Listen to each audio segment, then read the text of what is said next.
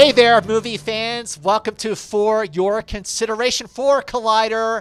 Every week, we track the ups and downs of award season leading up to and including the Academy Awards, which happen in just less than two weeks on February 9th. That means this is our third to the last episode for season two of Collider FYC. But we would not be here if not for our partners, our amazing partners at ArcLight Cinemas. They have been our partner not only for season two, but they have been a great champion for our Collider screening series at the ArcLight Cinemas in Hollywood. And if things look a little different right now, and not just because we're sitting at different places, at least Jeff and I are, but because we are live, well, not live, but we are at the Sundance Film Festival, Sundance 2020, from the Kia Supper Suite. Joining me, as always, Collider FYC would not be anything if not for the amazing Perri Nemiroff, otherwise known as Paranormal I was Activity. hoping you would bring that up. And also the mighty Jeff Sneider, also known as, you know, Jeff Sneider. And uh, it is great to be here at Sundance at the Kia Supper Suite. And while we were here watching a whole lot of movies and doing, you especially doing tons and tons of interviews for, here for Collider Video, a whole lot of award stuff happened over the weekend. And we're going to talk about how those awards wins may or may not affect the outcome of the Oscars on February 9th. So let's get right to it with the biggie the Directors Guild Award. The DGA went to Sam Mendes for 1917. First feature went to Alma Har'el for Honey Boy. Now, since 1950, the DGA winner went on to win Best Director at the Academy Awards all but seven years. So 90% of the time. But wait, there's more. There's more. Uh, uh, the DGA winner won Best Picture in all but 16 times. So that's 76%. So the question is now that we have the PGA winner for 1972, 1917, a movie that was 103 years in the making, and the Directors Guild going to Sam Mendes, how are we looking for Best Picture and Best Director at the Academy Awards, Perri?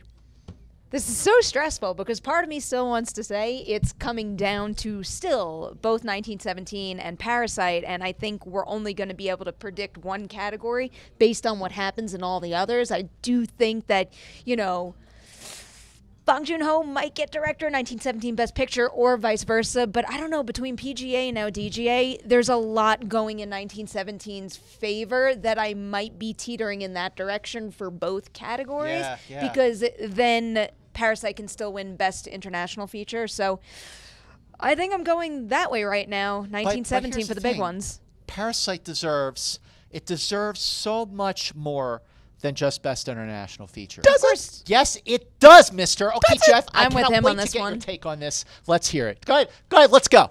I don't think anything has really changed. I think that 1917 is going to win Best Director, um, which is what I've been saying for weeks. They just, Yeah, yeah. it- you know, it's like it's just like Alfonso Cuarón with Gravity. They just they gravitate towards spectacle, and Mm-hmm. 1917 is the movie with the most spectacle. And Sam Mendes, I think, is a pretty sh- good bet for D- for the Now, DGA. now, uh, uh, according to all these, uh, you know, stats, all these, all these different things, you know, in recent years, the following films won the Golden Globe and the PGA and the DGA for Best Picture: The Artist, Argo, and Birdman. Now, uh, you know, you have other films that won the PGA, the Golden Globe, and the DGA that did not go on to win Best Picture, like La La Land.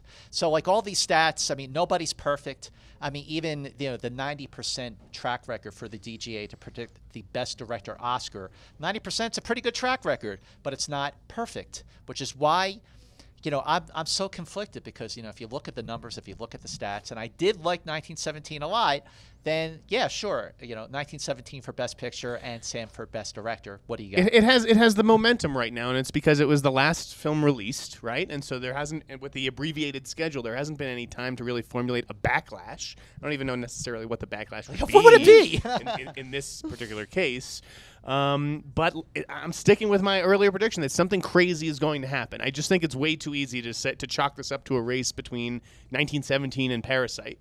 I, I don't. I think that the preferential ballot is could just blow all of that up. Oh What- no, I don't. I don't think that's the case. I think we're definitely down to those two for the big ones. I like. I can't imagine any of the others at this point sneaking in. I wouldn't mind seeing a Jojo Rabbit benefit from the Yeah. the preferential ballot, but I think there's too much momentum behind both 1917 and Parasite, and we're just seeing too much love from the community for Parasite in particular. So I think if anything steals it from 1917, that's really the only possibility. I, I agree with Perri, and also, you know, if I vote, if I think with my head, then sure, I'm looking at like, wow, everyone's really picking 1917 here.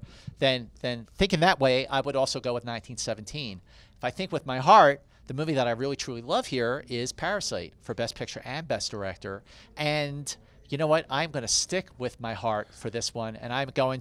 I am. I pride myself on being a nonconformist. I am sticking with Best Director Bong Joon Ho, Okay. Best Picture Parasite. Go Parasite. Parasite is not going to win Best Picture, Scott. I don't know what to tell you. Well- Okay, well- it's winning Best International Feature. You're don't, it's not going to get two picture Oscars. But but think think of okay think about it this way. Think about it this way. So last year everyone was up in arms. There has not been a backlash against the academy for a best picture winner since crash won for 2005 but the backlash against the academy for green book might be such that here the they actually have a chance to to make history for the film that is worthy. Worthy. That's the key here. Parasite is worthy of a Best Picture win. Mm-hmm. And if Roma last year can go as far as it did, being the kind of movie that it was, which was a movie that required a lot of commitment because it was kind of a a very very slow burn you know parasite is such a potent movie that actually has something to say it's a movie for the here and now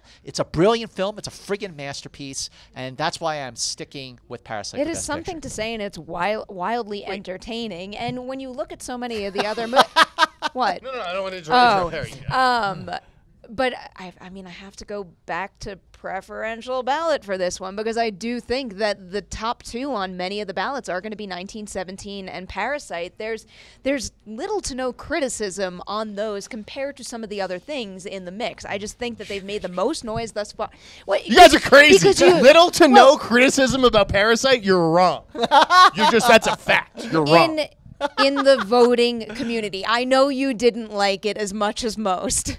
But most did right no, I, and this I is do, why this I is why do jeff think, is at a and, So es- wait, and you just- especially especially when you compare the criticism of Parasite to the amount of criticism we've seen of some of the other films. They're much more divisive. Therefore, what film had the most criticism last year? Let me ask you. What film? green book Did it win Best how- Picture? Yes. How are we even quantifying? It's amazing. But Scott, you just said you think Bong's going to win Best Director. Yep. And you think Parasite's going to win Best Picture. Yes. And you think it's going to win Best International Feature. Well, of course. So you're just you're just going all in on Parasite. I, i'm all in I would bet you any amount of money it's All not right, going to 20 go th- win all three of those awards. That's that's a dangerous bet to make. I, I, I three. Stand by my all bet. three Uh, of those awards? Jeff, That's- hang on a second that's here. never Hang on a second. Right here. Here's, here we go. Oh, here no.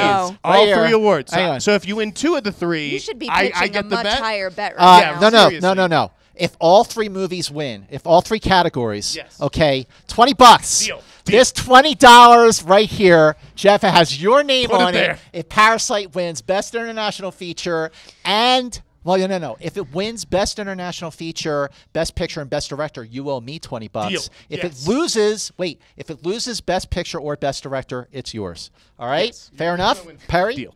All right, here. You're hold you're in so much trouble. I right just- now. I care. This is that's a bad I, bet. I'm with you that I think Parasite could get Best Director or Best Picture in addition to Best uh, International Feature, but it's But not not, going to be all three. Uh, you know what? I'm just. I just- what has I know happened- I'm crazy here, but come on. Uh, we got to move on. We got a lot of awards Joker. to. Joker got 11 nominations. Right, you can't just discount nominated it. You can't discount Jojo Rabbit. You don't know what it came in second place at the DGA. You don't. You don't know any of these other factors. I just. I don't it's know. a Last- it's a fair what- point, but we're making predictions based on the information we do and- and have, you're I, right. and I think 1917 's the most signs runner. point at those two. 1917 is the front runner, and if I was filling out a ballot to try to get you know the, the highest percentage, I would put 1917. Well, Parasite is also a sticking front runner, and I'm sticking with that as well. And this is what the show is all Okay. about. All right, moving on to the American Society of Cinematographers. The winner of that, I mean, no question here, uh, uh, no problem here with this one. Roger Deakins for 1917. Last year, interestingly, Cold War won the American mm-hmm. Society of Cinematography, but the directing Oscar for cinematography went to Roma, and in the last 33 years, only 14 ASC winners went on to win the Best Cinematography Oscar. But I think uh, Roger Deakins is definitely looking at his second Academy Award after Blade Runner 2049. This would be the ultimate upset if it didn't pan out this way on the big night. I think it's going to happen no matter what. Jeff, I, I agree. I think Deakins is a lock. Yeah, right? Cinematography. I mean, no one deserves it There's more. just what, what especially- else was what is the second contender? You know, like what is the one that's nipping at his heels? Uh, that's a great question. I mean, Joker was nominated. I would say and Joker was really, you know, shot very well, and so is Once Upon a Time in Hollywood. But Mm-hmm. none of these movies are really, at a, in terms of yeah. cinematography, at that level. I agree. I mean, uh, for for Deakins to win the Academy Award for Blade Runner 20, 2049, which uh, 49, he was worthy. I mean, he deserved it. Uh, but then, then you see this one, and I was like, oh well, that I agree. that's even in terms of cinematography. even This is a bigger accomplishment. Yeah, yeah, absolutely. Next, we had the Cinema Audio Society. That's the uh, the awards for sound mixing. The winner for that went to, I'm very happy to mm-hmm. say, a movie that I loved to pieces, Ford versus Ferrari. Last year, sound mixer Paul Massey won Best Sound Mixing, among other people, for Bohemian Rhapsody, and Paul Massey is one of the sound mixers for Ford versus Ferrari. So, uh, uh, but interestingly, in six of the last 10 years, the CAS winner won the Oscar for Best Sound Mixing. So, uh, but I think that uh, Ford versus Ferrari sound mixing, that to me is a front runner for the Oscar. Perri. Yeah, I'm up there at the top with Ford v Ferrari and mixing with my number two being 1917, but this win just kind of reinforces how I already felt. Jeff? Um, it's a tough call. I mean, I love the sound in Ford versus Ferrari. uh, You know, the, the, the vroom vroom of those cars and everything. But it's just those racing scenes, really, that where the sound, you know, stands out. 1917 sound goes, you know, throughout the whole movie. I don't know. I think I might lean towards 1917 just uh, because of the support within the entire Academy for that movie. Well, the reason I'm sticking with Ford Ferrari on this one, not just because of the one here, but as, as soon as I saw Ford versus Ferrari, I'm like, I was blown away by the sound of that movie. And it's, first of all, the racing scenes take up the last 40 minutes of the film, but also you have the scenes where they're testing out the different cars. So it's prevalent throughout the course of the movie. It's not just in the last 30 or mm-hmm. 40 minutes of the film. Perri? Is it not? Was it not even nominated? What? Uh, 19, 1917. I, I 1917 wasn't even It nominated wasn't. for best uh, For Best Sound? sound. Yeah. mixing. Interesting. Um, Interesting. I mean, but it, but it is up for the um, Oscar. at the the Cinema Audio Society Ci- Awards. I right, mean, right. not not Academy, obviously. Okay, so all right, moving on then to the Goya Well, Awards. Real oh, wait, quick, wait, real on. quick with Hang the on, sound stuff. I feel like Academy members they have no idea what, what they're, they're what they're checking off, right? Like they don't know the difference between mixing and editing. Right, sound mixing and sound editing, they don't know what the difference is. And that's why I think they're just gonna kind of absent-mindedly go with you know the 1917, which is this season's awards juggernaut, so to speak. Ford Uh, vs Ferrari I- seems. I hate to admit it, but I wouldn't be surprised if that was the case. Yeah, it just seems like a mindless thing. Yeah, you, you do. I Uh, don't And know. it's like the mindless thing might wind up being like, oh well, if I give sound editing to 1917, I'll give mixing to Ford v Ferrari, and nobody it, knows yeah. the difference between one or the other. Well, you know, do you have Mr. St- Statistic? Do you have stats on that? Like how many times, um, you know, in the last five years Takes or so, both. Right? Something takes both, or those awards are split. Do you have any idea? well, oh, oh, for both of those For, for the awards, no. just no? for sound Okay. mixing. I, I didn't mean to put you on the yeah, spot. yeah, yeah. it's- No, for sound mixing, six of the last ten years, the Cinema Audio Society winner went on to win the uh, uh, Oscar for best sound mixing. But for mixing and editing, I mean, uh, have, Oh. have movies of late been winning both of them, or I'm have at- they been splits? the I last I'm need at to few go years? least back and check, trying to that's a great find what one. I'll- well, last last year, Bohemian Rhapsody won both. Right, right, right. But it doesn't always win both. Okay. Right. I, mean, I was just like, curious when I'm if you doing knew. my Oscar ballot, I, I really don't know enough about the difference, and I wind up picking the same movie for both, thinking that it'll at least win one of them. The year the year before, Dunkirk won both. I mean, actually, that's probably a good a good example of why 1917 might be the front runner in both categories too. Well, there you go. That's good. That's a good point. race. It's a- That's why you two have your computers and I don't. All right, moving on to the Goya Awards. This is the Spanish Academy Awards. Pain and Glory, clean sweep, won seven. Was nominated for 16 Goya Awards, and it won seven of them Picture, Director, Actor for Antonio Banderas, Original Screenplay, Editing, Original Music, Supporting Actress for Julieta Serrano.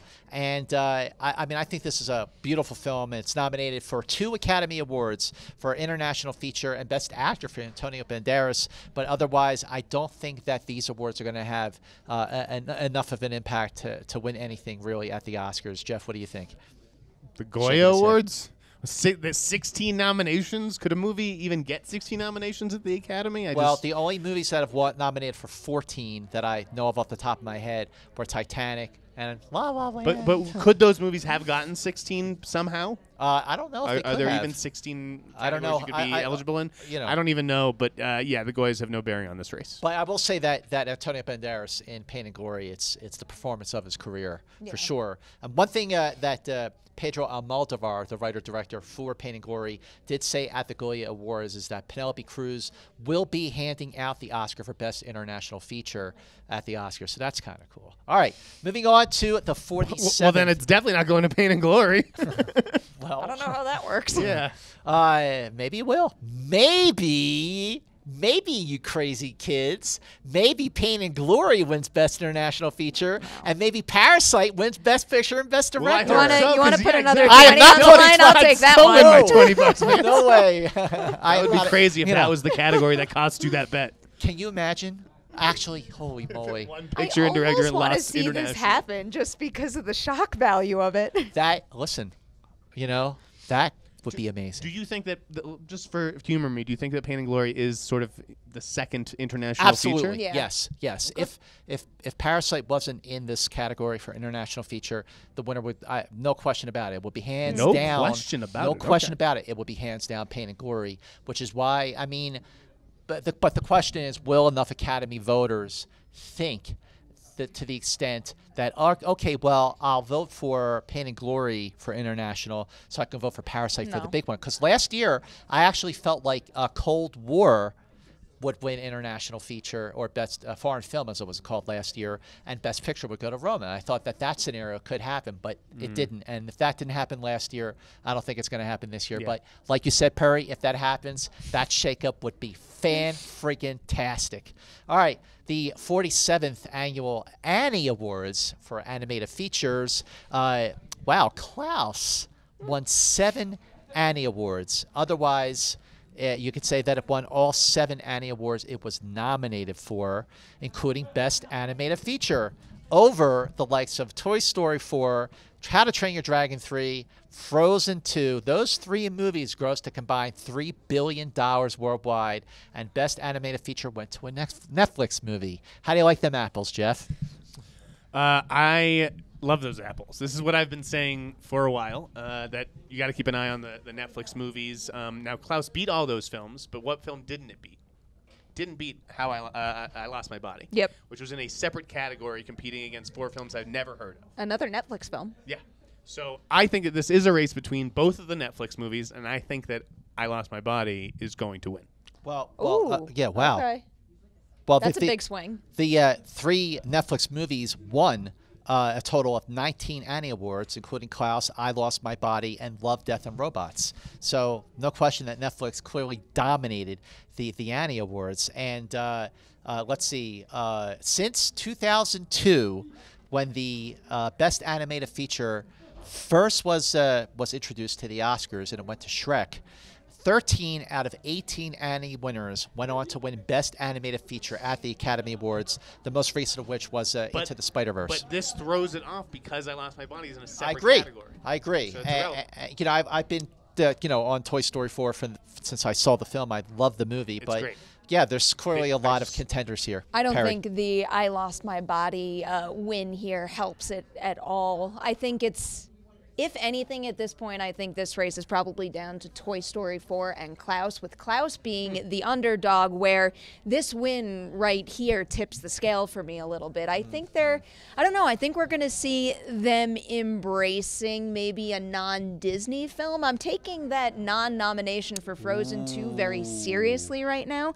And I don't know. I wouldn't be surprised if Klaus ran away with this. But another reason why I would cross I lost my body off the list is just, you know, view time. How many how many of these movies have people seen? Klaus got a whole lot of love when it came out during the holiday season. You already brought up how much money Toy Story 4 made. And also, this might be my personal preference now. I am rooting so hard for Klaus. Did That you see is- it? it is stunning. The animation is it's just got like such a fresh feel that so well suits that story and it might be one of the most clever Christmas tales I think I've seen in Since uh, recent uh, years. uh, uh, Nightmare Before It's- Christmas. You know how much I love know that you love movie. that movie. but but Klaus and the way that they handle that mythology is so clever. It's got a great message. It's so heartwarming and re- I was really here. I What's was it about, really Santa Claus? blown away Is by it it. about Santa Claus? Kind of, yeah. I don't think Santa Claus No. is winning an Oscar. You, you, I am telling you though, until you watch it and you see what they do with that story, you don't know. I, I that's fair. highly recommend it. I gotta Uh, see the other thing, Perri, to point out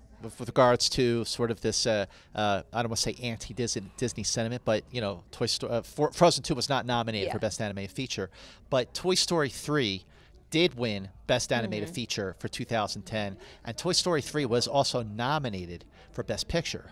So because a Toy Story already did win the uh, an Academy Award for Best International Feature, maybe the Academy will think, okay, let's let's go with something else, and that could indeed be Klaus. Yeah, no, I mean that that could. I don't want to say that's not possible, a not a not possible way of thinking for anybody in the academy, but I don't know. Just initially, my knee jerk reaction to that is my mind wouldn't go down. Like Right. I'm not going to sit there and look up which Toy Story movie won something and take award an award away from it for that reason. But you know, I also don't want to say Toy Story 4 isn't deserving of this. I really do think that that was a phenomenal sequel to add to that series. So Yeah. one way or the other, I'm going to be thrilled. Well, Jeff, any parting thoughts here? I'm, I'm sticking with my my prediction. Well, since we are at the Sundance Film Festival, I just thought it might be kind of fun to like uh, start talking about the Academy Awards for 2021, and maybe one of us, or two of us, or all of us have seen a performance or a film that could actually be a contender when the Academy Award nominations for 2021 are announced in a year. Perri, anything off the top so of your head? So I'm Yes. gonna pass this on to Jeff first, not for the Academy, for something else, because I love, love, loved what you said to me last night. Uh oh. Ooh. About what? What'd you say? We saw Downhill. Oh. Well, Okay, my well, my first awards prediction of the year would be that I think Julia Louis Dreyfus can get a uh, Best Actress Golden Globe nomination. okay. Not Uh, an Oscar nomination, but I think that But I'm she very much could into very well this. be a contender for the Globes. And I know why you're saying that because there is a scene in the film, not going to spoil it. There's a scene in the movie where I'll, I'll tell you off camera, but there's a We've all scene in seen the it. film, but they, They haven't didn't. seen it. So Based there's on force majeure. but but there is a scene in the film where I literally was watching the scene going, "This is her for your consideration clip." If it ever I came think down she to has that. a I few think, of them. yeah, I was gonna say there's definitely more than one there. But but there was one. Well, I'll tell you the first one that, that I really went. Wow, she's really crushing it. This is why she has a million Emmys. Well, I, that's that's the other thing. It's not just about what we're seeing on screen. It's the fact that she is who she is. Yeah. It was like, okay. you know. Fair enough. She's Uh, very, very good in that movie. What else? And when you Give- look give- when you look at the, the I mean, I have to maybe take a closer look at the, the landscape and what comedies or musicals are coming out this year. But well, what what else is what else are you thinking, Perri?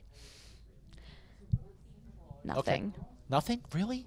All right, I've got one. It, ki- it wow, it really like hurt one. to say that just now. Not I- that I didn't, but just to clarify, not that I didn't like anything. I, I've seen a lot of movies that I liked a lot, but especially given how things have gone in past years, especially with the farewell not cracking the awards race, race whatsoever, Mm. with the farewell not getting in, and that's so fresh in my mind right Yeah, now. yeah, yeah. Like I just can't place a bet on anything I've seen because I don't think anything I've seen has been better than the farewell. Well, not I don't yet, think, at least. I, I, I wouldn't place a like a bet like I just did. Bye bye twenty bucks.